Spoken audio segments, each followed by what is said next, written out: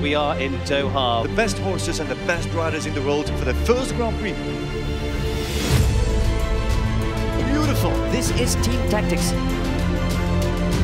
Very smooth and forward. Oh! There's no catching Daniel Deusser. Deusser wins. Brothers in arms lead London Knights to an early win.